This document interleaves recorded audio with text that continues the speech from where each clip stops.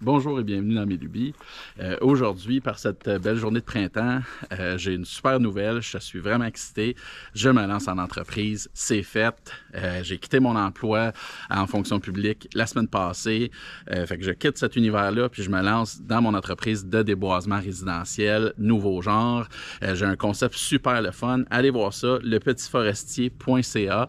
C'est mon site web, lepetitforestier en un mot. .ca.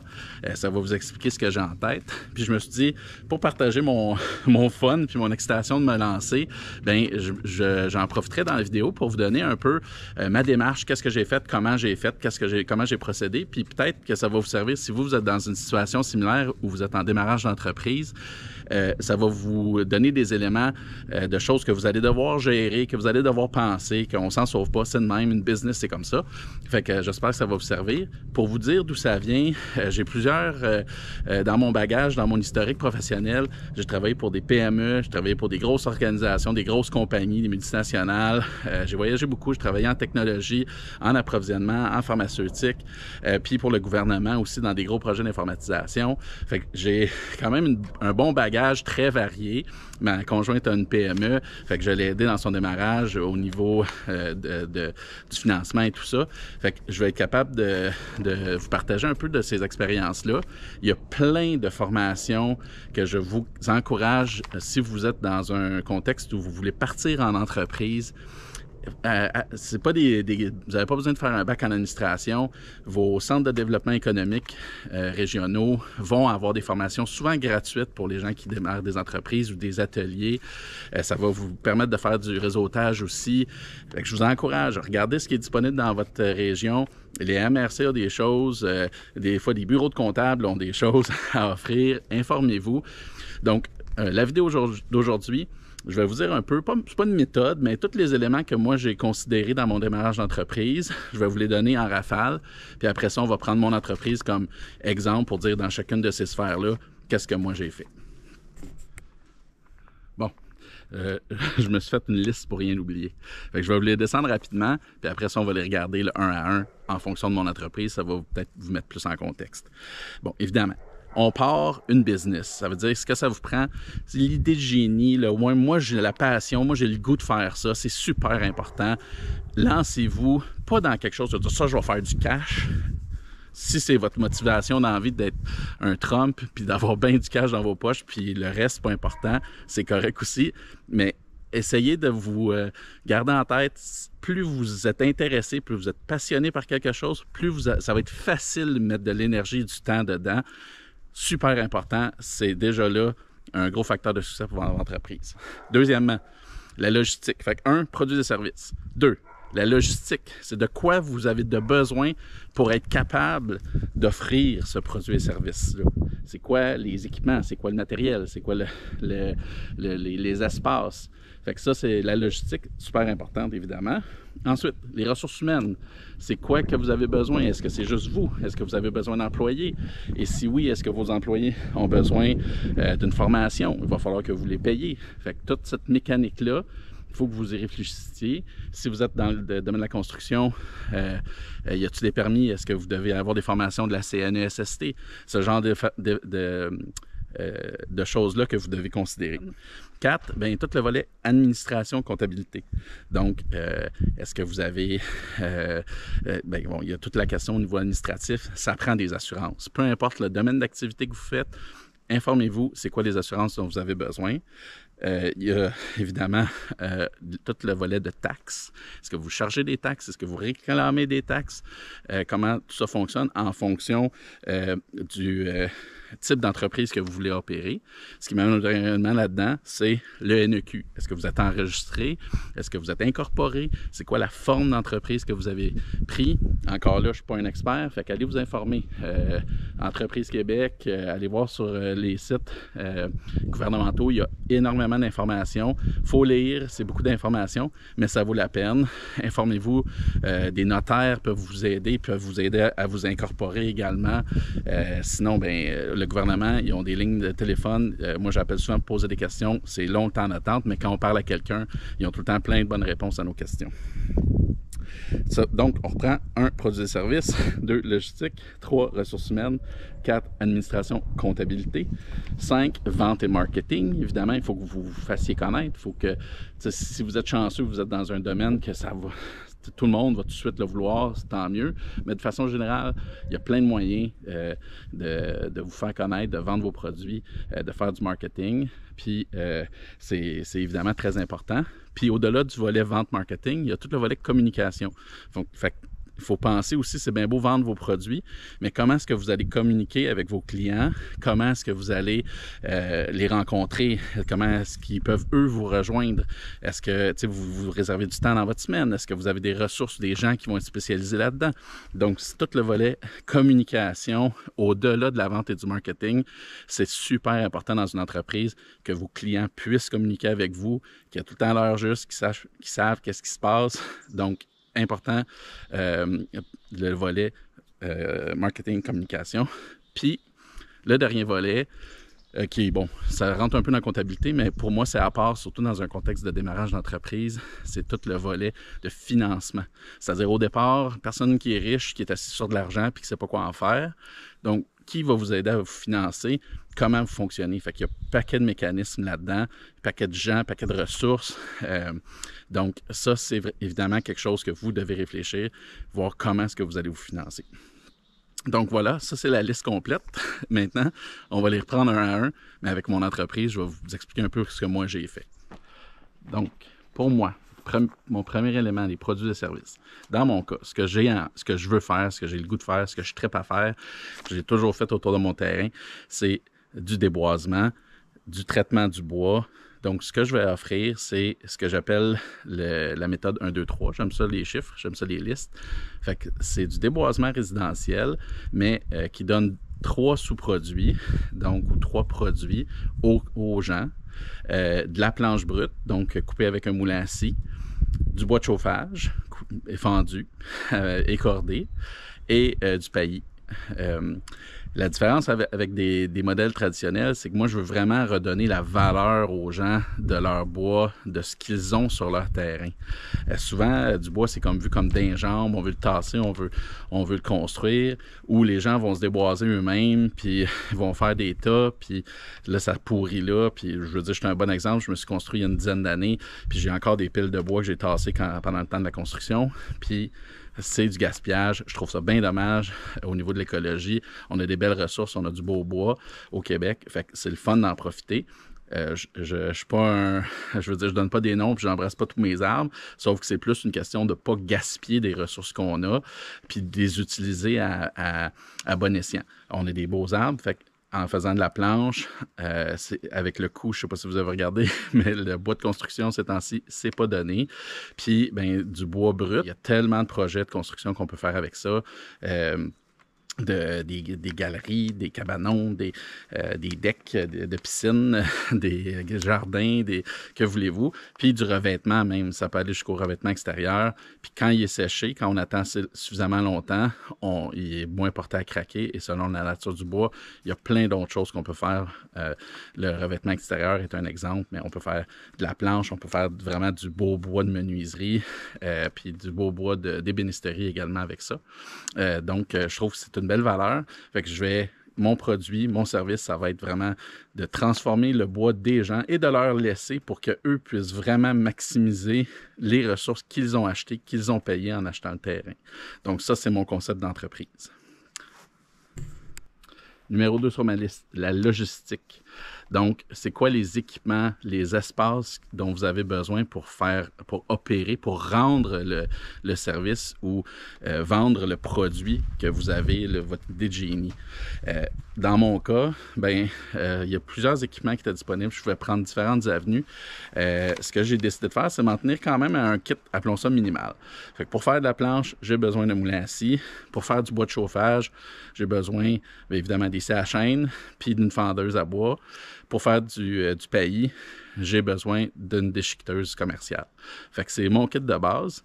Euh, là où je me suis, appelons ça gâté, c'est au, niveau de la manutention. C'est que c'est bien beau couper des arbres, mais il faut les promener. Après ça, une fois qu'ils sont coupés, il reste des souches à travailler. Je me suis acheté une excavatrice pour être capable de m'aider à couper les arbres, ramasser les bio, euh, puis euh, bon, arracher les souches, faire une belle job, puis être capable de faire la manutention de tous ces matériaux-là. Euh, mon intention, c'est vraiment le pays. Je veux pas juste rabattre les arbres à terre, je trouve ça du gaspillage. Les gens disent que c'est écologique. C'est plus ou moins vrai dans mon selon moi, ça l'est. Je veux dire, c'est pas, pas toxique et tout ça. Mais de façon générale, un, un, sol de forêt n'a pas besoin de paillis. Il y a de la feuille depuis des années. Il y a souvent, la couche de, de, verre est déjà là. Fait que le paillis, si on fait juste rabattre les, les arbres au sol, c'est du gaspillage, du gaspillage parce que du bon paillis forestier, ça peut servir à plein de choses. Il y a un paquet de gens qui n'ont pas d'arbres, qui ont sur leur terrain, qui, qui, peuvent qui veulent en bénéficier. Euh, donc, euh, le paillis, pour moi, dans mon concept, c'était important vraiment d'être capable de le euh, rassembler à quelque part. Fait que je voulais pas juste une tête déchiqueteuse sur ma, sur ma, sur mon excavatrice. Je voulais vraiment une déchiqueteuse commerciale puis je vais mettre ça dans des bacs ou dans des sacs emballés pour que les gens puissent les utiliser sur leur terrain ou leur vendre ou s'ils veulent s'en débarrasser. Moi, je vais le, racheter, puis le vendre, euh, me virer de bord, puis le vendre à d'autres compagnies. Il euh, faut aussi penser aux espaces. Moi, j'ai un beau trailer, 20 euh, pieds, gooseneck. Ben, ça rentre pas dans mon stationnement. Fait que là, je suis en réflexion, OK, où est-ce que je le mets? Comment je fonctionne? Est-ce que vous, pour, si c'est de la vente, est-ce que vous avez besoin d'espaces commerciaux? Est-ce que vous avez besoin d'un bureau, un espace sur rue, une place pour vendre? Est-ce que vous avez besoin d'un entrepôt pour être capable de faire de la, de la réception de marchandises? Puis de la manutention, puis après ça, de la, euh, livraison de marchandises. Donc, c'est tous ces éléments-là et regardez-le, puis ça va rentrer aussi dans vos coûts d'opération. C'est vraiment la logistique qui vient vous dire qu'est-ce que ça va vous coûter à vendre le produit que vous, que vous avez, qui est votre idée de génie, que vous savez que les gens vont payer une fortune pour, mais c'est quoi le coût pour livrer ces produits-là, livrer cette, ces services-là? Donc, je vous ai parlé un peu des équipements que j'avais en tête. Euh, côté logistique, dans mon cas, euh, ce que je compte faire, euh, bon, je vais avoir ma pelle qui va être mon gros morceau à déplacer. je me suis acheté un pick-up qui est en commande. C'est probablement un dernier, dernier équipement que je vais recevoir. fait que ça va, ça rend un peu la chose, le démarrage d'entreprise. Fait que mes déplacements initiaux, je pourrais pas en faire beaucoup. Fait que c'est pour ça que sur mon site web, vous allez voir mon, mon début de d'activité officielle va euh, coïncider avec l'arrivée de mon pick-up, essentiellement, parce que c'est là que je vais être capable de déplacer mes équipements. Cependant, je vais être capable de commencer certaines activités avant, comme euh, euh, mon déchiquetage commercial, je vais avoir ma chippers avant. Euh, mon moulin je vais l'avoir au début mai. Fait que déjà là, si la demande est là, je vais faire des petits contrats à ce niveau-là, du nettoyage de branches. Puis s'il y a des gens qui ont déjà coupé des arbres et qui veulent faire de la planche, je vais pouvoir me rendre avec mon moulin à puis travailler avec eux pour le faire. Donc, côté logistique, ben, dans mon cas, c'est ça, faut que je déplace mes équipements. J'ai besoin d'un camion, j'ai besoin d'un trailer. Je vais faire une vidéo spécifique là-dessus, expliquer un peu mon setup, les capacités de charge nécessaires et tout ça. Mais pour moi, ma logistique, c'est d'être capable de prendre mes équipements, qui sont tous des trailers, puis les rendre chez mon client. Dans le meilleur des mondes, je serais capable de tous les prendre, les apporter, mais de façon réaliste, ce que j'ai en tête, c'est que mes projets, je compte viser des gros projets résidentiels avec beaucoup d'arbres. Évidemment, je pense que c'est ces clients-là qui vont bénéficier davantage de mes services parce que euh, plus il y a de beaux arbres sur leur terrain, plus je vais être capable de leur valoriser leur terrain, leurs ressources, donc euh, essentiellement générer des économies, puis du beau bois qu'ils vont pouvoir utiliser, puis essentiellement presque m'auto-financer ce qu'ils me payent pour faire le travail. c'est un peu mon modèle d'affaires. donc, je m'attends à avoir des projets plus longs. Donc, je ne pense pas rentrer avec ma chainsaw sur un terrain, tout couper, tout mettre ça sur un camion pour m'en aller. C'est pas le modèle. Ce que je fais, c'est je rentre sur le terrain, je vais rester plusieurs jours. On va tout mettre ça beau, on va nettoyer les arbres, on va euh, nettoyer le sol, on va tout euh, mettre les planches bien cordées, asséchées pour pas qu'ils pourrissent, pour vraiment qu'ils puissent être utilisés plus tard. On va corder le, bois de chauffage. Euh, j'ai des bins qui s'en viennent, puis j'ai des sacs euh, à bois de chauffage qui s'en viennent, des gros sacs de, cordes, ben, un tiers de corde officielle, euh, ou, ce qu'on appelle au, Québec une corde de bois ou une corde de face, ben j'ai des sacs qui s'en viennent pour être capable de mettre ça là-dedans. Fait que ça va tout beau, tout être beau, tout être cordé sur le terrain de mes clients. Donc, ça, ça fait partie de ma logistique. C'est tout qu'est-ce que j'ai besoin comme accessoire, qu'est-ce que j'ai besoin comme équipement, euh, comment je transporte mes affaires? Fait que ça, c'est un peu euh, comment je m'enligne pour ma business. C'est comme ça que je compte fonctionner. Donc, je vais me rendre sur le terrain de mes clients avec mes, ma pelle. Je vais commencer à, couper des arbres. Puis après ça, tranquillement pas vite, je vais apporter mes autres trailers les journées suivantes. Je vais laisser mon excavatrice sur le terrain de mes clients, puis je vais rapporter les autres équipements les jours suivants pour être capable de faire la transformation du bois. Puis, de la même façon, quand je vais avoir fini de faire la planche, je vais pouvoir apporter ma remorque. Fait que, étant donné que ça va s'étalonner sur plusieurs jours, ça va bien fonctionner dans mon cas. Fait que ça, c'est ma logistique à moi de comment je vais fonctionner. Puis bon, donc, équipement, transport, pour moi, c'est pas mal ça. Comme je disais, faut que je commence à réfléchir déjà, même si je n'ai pas commencé, à où est-ce que je vais entreposer mon excavatrice l'hiver prochain? Euh, est-ce que je peux me trouver un terrain commercial pour euh, les, les, fois où je m'en sers pas? Euh, est-ce que je peux me trouver un grand garage? Fait que si vous êtes quelqu'un de Saint-Agathe puis que vous avez un espace commercial puis vous pouvez ou un gros stationnement là, qui est vide, puis vous avez de la place pour mettre un trailer avec une excavatrice, contactez-moi. On sait pas, je vais peut-être être un de vos clients. donc, pour ma logistique, ça fait le tour. C'est comme ça que je m'enligne. Troisième élément sur ma liste, les ressources humaines. Dans mon cas, c'est facile, c'est moi. je suis mon, je suis un propriétaire euh, entrepreneur, je suis travailleur autonome. En fait, j'ai une compagnie enregistrée. Je vais en parler plus tard des différents types de, compagnies. selon la forme d'entreprise que vous avez pris, ben même si vous êtes juste vous, comme dans mon cas, ben je pourrais être essentiellement deux personnes, donc une entité légale qui est la compagnie, puis une entité, euh, euh, un individu qui est moi-même, Étienne Vallée. Donc, même, même dans un cas où on est enregistré, il y a certains cas où cette, cette réalité-là existe, l'espèce de dualité. Par exemple, au niveau des taxes, ça, fait une distinction, mais selon la, si vous êtes incorporé, ça prend encore plus son sens. Donc, il y a ça à considérer. Ceci étant dit, si vous avez besoin d'employés, ben, pensez à votre pôle de recrutement. C'est quoi le de ressources que vous recherchez? C'est-tu des, des petits petites filles qui sortent euh, du secondaire ou même euh, de 14-15 ans pour faire de la caisse, pour peu importe? Pensez-y, parce que c'est, on est dans, au Québec présentement, quand je filme cette vidéo-ci en 2022, il y a un peu une crise de, de l'emploi, c'est-à-dire qu'il y a beaucoup, beaucoup d'emplois, surtout euh, des, des, je veux dire, des, des, emplois qui étaient historiquement à salaire minimum. Des, euh, il y en a beaucoup, beaucoup d'emplois, mais au-delà de ça, peu importe le secteur d'activité que vous, dans lequel vous êtes, ben la main-d'œuvre, c'est pas tout le temps facile à trouver. De la bonne main-d'œuvre, c'est tout le temps un challenge. Fait que prenez, prenez-vous d'avance, euh, regardez vos coûts, qu'est-ce que ça prend, Regardez euh, si vous êtes dans le domaine de la construction ou dans le domaine, peu importe, du paysagement ou n'importe quelle tâche faite à l'extérieur où il y, a euh, il y, a de l'activité physique, je vais le dire comme ça, ben, euh, même dans des, dans, dans des bureaux, vous avez probablement besoin de cours ou de formation spécifique de la CNESST. Euh, fait qu'il faut que vous soyez enregistré là. Donc, il y a tous ces volets-là euh, que, qu'il faut que vous, vous pensiez à faire les démarches administratives avant de pouvoir dire oui, j'ai un employé et je le paye. Évidemment, les employés veulent se faire payer. Avant d'embaucher quelqu'un, assurez-vous d'avoir les, moyens, d'avoir l'argent dans votre compte, d'avoir euh, les mécanismes en place pour savoir c'est quoi les déductions que vous devez faire, euh, les, déductions à la source et tout ça pour être en règle, être en loi.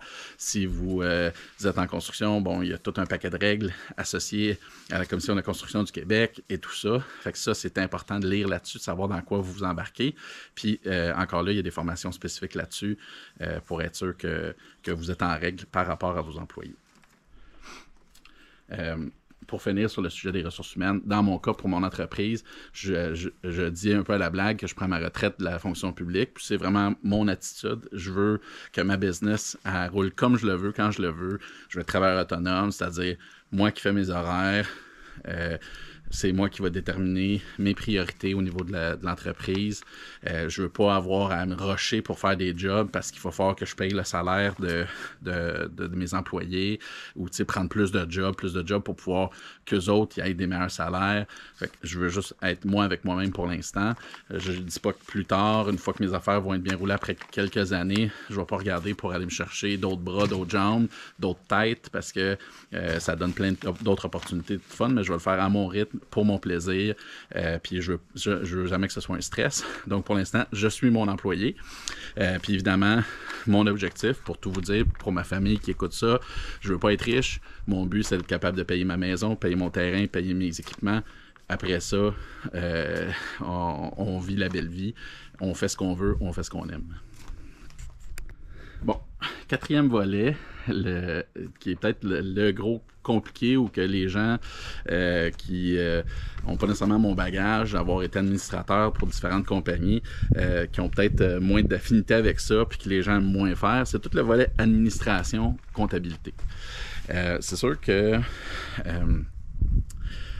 une business, ça vient avec. Si vous êtes chanceux, chanceuse, ce qu'on voit souvent dans des PME, c'est monsieur qui travaille ou madame, mais c'est plus souvent monsieur qui travaille et madame qui s'occupe de la comptabilité. Euh, c'est, bien si ça fonctionne pour vous, tant mieux. Euh, moi, je suis plus dans dans, dans la vie que euh, concentrez-vous sur ce dans quoi vous êtes bon. Ça ne veut pas dire que vous ne devez pas faire de l'administration, mais il y a un paquet de systèmes, il y a un paquet de compagnies, il y a un paquet de gens qui, se spécialisent dans la gestion de PME. Tout ce qui est administratif, euh, que ce soit les payes, que ce soit euh, la, comptabilité générale, ben si vous voulez pas le faire, ben faites-le pas. Il y a des plein, tous les comptables offrent ces services-là. Les firmes comptables offrent ce genre de services-là. Ça peut paraître cher au départ, mais dites-vous que le temps c'est de l'argent. Fait que si vous payez quelqu'un 100 pièces euh, pour faire une tâche, que puis vous, vous virez de bord puis vous faites 100 pièces de à faire votre tâche, ben vous allez être plus heureux à faire votre tâche à 100 pièces puis à donner 100 pièces à quelqu'un d'autre qui fait quelque chose que vous aimez vous aimez pas faire. Ça, c'est mon attitude. Euh, c'est sûr qu'il faut que vous fassiez votre 100$ de votre base, sinon, à un moment donné, quand vos dépenses sont plus élevées, vos revenus, ça va pas bien. Mais ça, c'est comme de base dans une business. Idéalement, il faut que vos revenus soient plus élevés que vos dépenses. Indépendamment euh, de, de, tout ça, il y a certaines tâches que, comme propriétaire d'entreprise, comme administrateur, vous allez être obligé de faire. On s'en sauve pas. Une des choses parmi celles-là, c'est les assurances. Faut, peu importe le genre de business que vous avez, ça prend des assurances à quelque part, comme j'ai dit tout à l'heure. Dans mon cas, c'est un peu complexe parce que euh, j'ai jamais travaillé pour une entreprise, pour un entrepreneur. J'ai jamais été en construction, tout ça. Je veux dire, j'ai grandi avec une chaîne de ça dans les mains. Euh, mon, mon grand-père, il m'a fait faire toutes les tâches euh, possibles d'aménagement de, de, terrain sur son terrain en bas âge. J'ai déboisé, de, me suis construit deux fois. Je me suis déboisé ici complètement au-dessus d'un acre sur mon terrain à, à Sainte-Agathe. Je viens de m'acheter une terre à bois de 32 acres aussi. Ben, j'appelle ça une terre à bois, mais un terrain de jeu. Donc, euh, j'aime ça. J'ai tout le temps eu une chaîne dans les mains. Euh, je suis habitué à ça, à gérer de la planche et tout ça.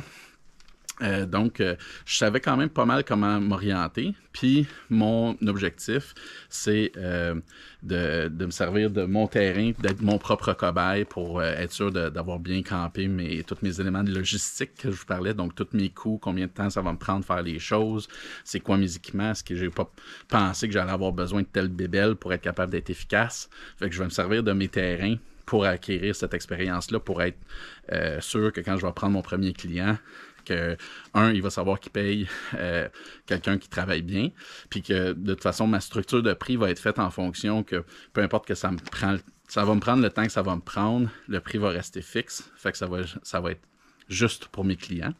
Mais je parlais d'assurance. Dans mon cas, euh, c'était un peu compliqué parce que euh, j'ai pas, j'avais pas d'expérience. Ma compagnie, par exemple, j'étais enregistré au bureau de registraire parce que j'étais déjà consultant en informatique. Euh, donc, j'avais déjà une entreprise, un NEQ. Fait que ça, c'était facile. J'ai juste changé la vocation de l'entreprise pour faire du déboisement puis du paysagement. Euh, mais au niveau des assurances, il y a même moins ça. Fait que ça a été complexe. Les assurances qui font ce genre de business-là, il n'y en a pas beaucoup.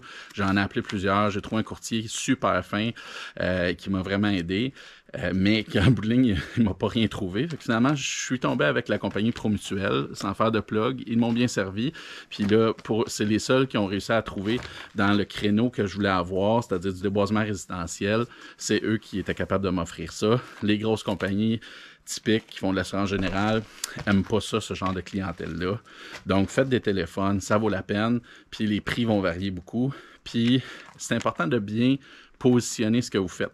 J'ai fait la gaffe de dire, quand ils m'ont demandé avez-vous de l'expérience là-dedans, ben j'ai comme dit non parce que j'ai jamais eu d'entreprise de déboisement. Mais la réponse est oui, parce que ça fait des années que je déboise.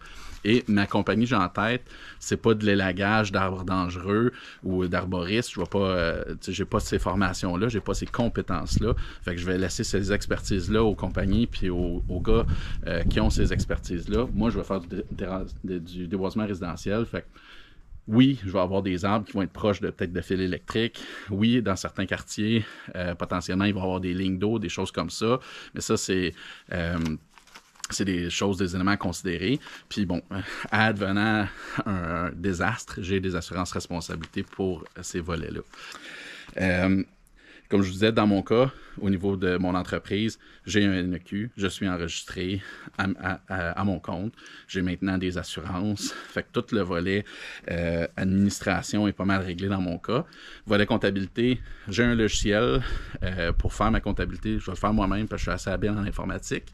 Euh, puis ben, je fais affaire avec mon comptable local, Amia Gilna, avec une belle gang là-bas qui m'ont aidé à, faire mon setup et tout ça.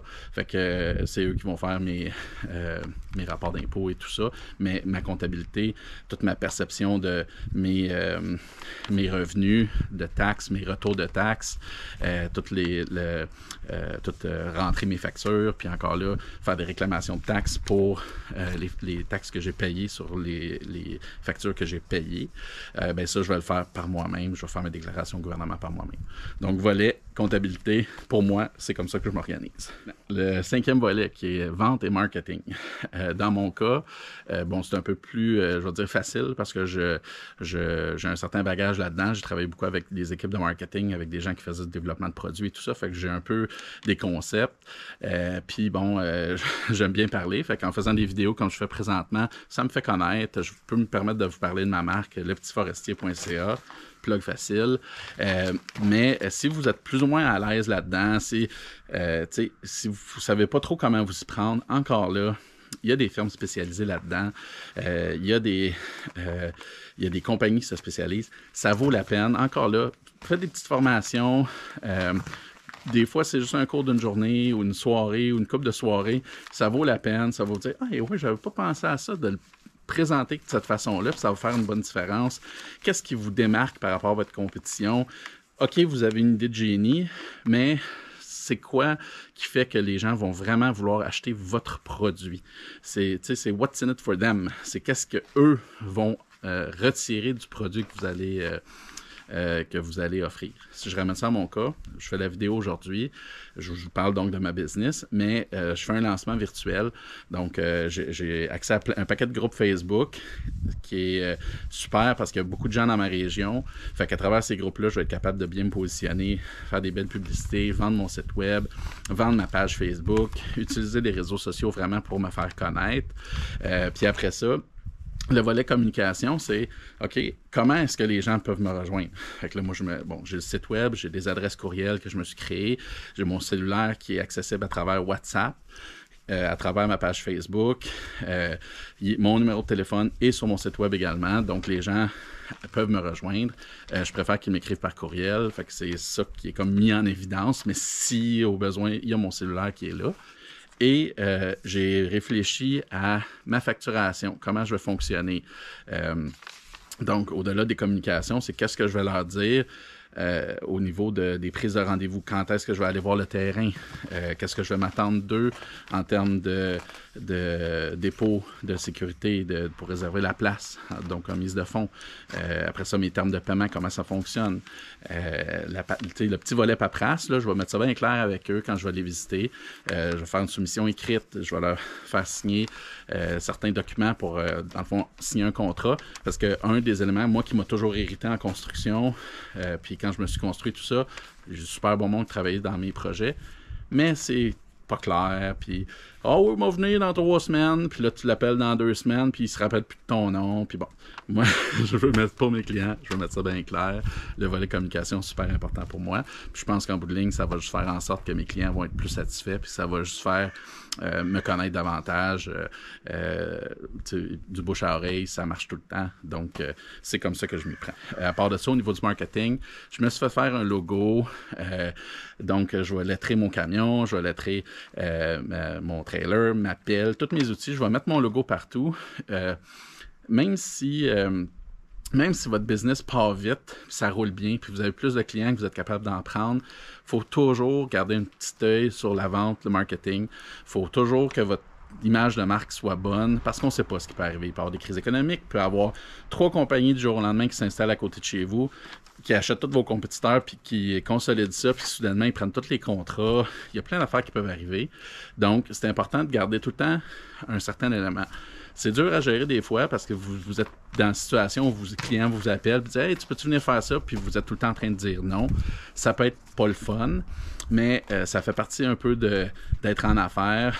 Euh, puis le mieux que vous pouvez faire, c'est bien gérer les attentes de vos clients en termes de quand est-ce que vous allez pouvoir les servir, puis euh, dans le fond, mettre ça clair et de respecter vos engagements. Une fois que ça c'est fait, le reste ne vous appartient pas. C'est le marché qui, qui règne. Bon, dernier point et non le moindre, le financement.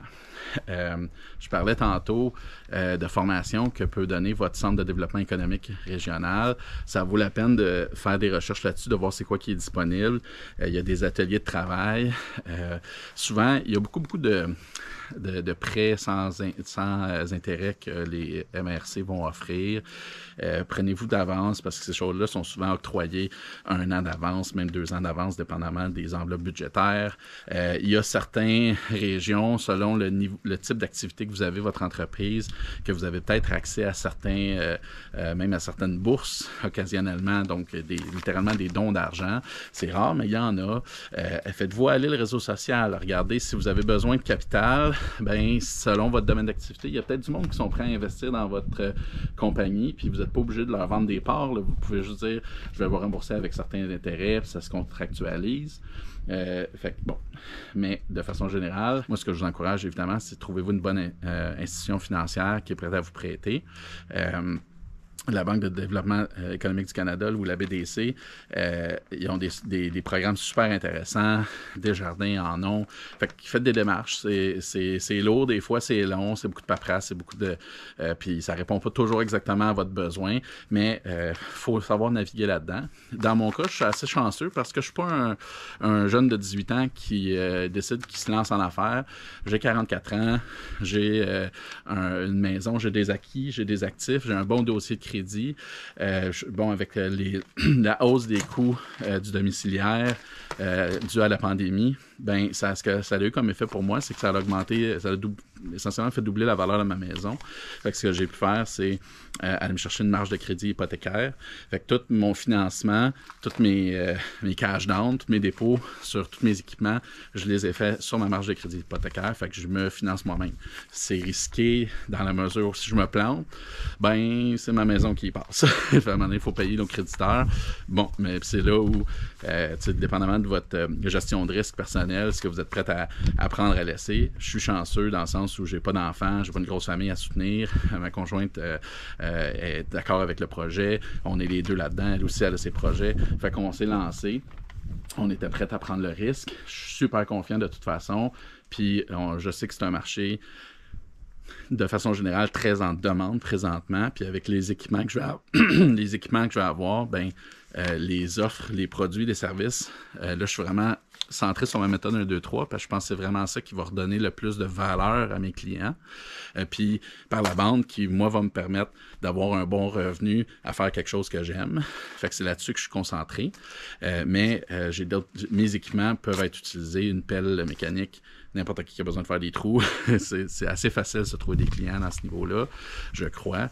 Euh, fait que, un coup mal pris, j'ai des, des plans B, sauf qu'il faut penser vraiment en fonction de qu'est-ce qu'on veut faire, qu'est-ce qu'on aime faire, puis c'est là-dedans qu'on se lance. Donc voilà, ça fait le tour. Euh, je vous rappelle, lepetitforestier.ca. Je suis super content. C'est aujourd'hui que ça commence. J'ai pas tout reçu mes équipements encore, fait que je vais tranquillement pas vite.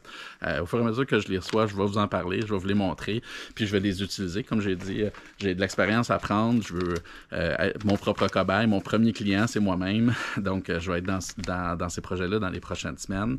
J'espère que l'information que je vous ai donnée aujourd'hui est utile. C'est mes affaires, c'est plus ma vision des choses.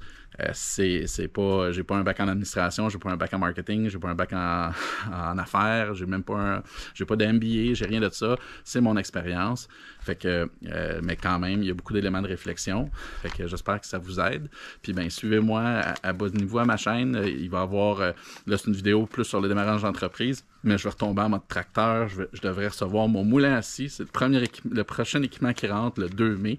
Donc je vais faire des vidéos là-dessus prochainement. Puis ben, vous avez vu euh, ma vidéo, là, je devrais la poster en même temps. Si je ne l'ai pas déjà postée, elle s'en vient dans quelques minutes. Euh, sur euh, la rétrocaveuse de mon tracteur. Je me suis amusé avec ça. Ma blonde s'est amusée avec ça. Fait que je vais vous faire des, petites vidéos de ça. Puis je vais vous montrer c'est quoi les projets que j'ai sur mon terrain avec ça. Donc, merci beaucoup. Suivez-moi. Puis, euh, euh, si vous avez des commentaires, des suggestions, des affaires que j'ai pas pensé, c'est important, mettez-les dans les commentaires euh, de, ma vidéo YouTube parce que ça alimente les, les algorithmes. Puis ça fait que YouTube va peut-être me faire popper sur du monde qui voulait pas cliquer ça pas en tout, mais soudainement, ils vont écou- écouter une chronique sur le démarrage d'entreprise en déboisement résidentiel.